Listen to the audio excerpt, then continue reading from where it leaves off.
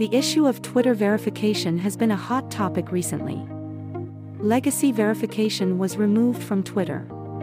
Chiefs quarterback, Patrick Mahomes, lost his blue checkmark and asked Twitter CEO to return it. Two days later, Mahomes' blue checkmark was restored and he expressed gratitude in a tweet.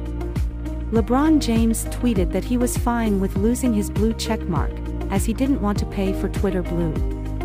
Despite many legacy accounts losing their verification, James' account remained verified. It was later revealed that Elon Musk paid for certain users to retain their blue checkmarks.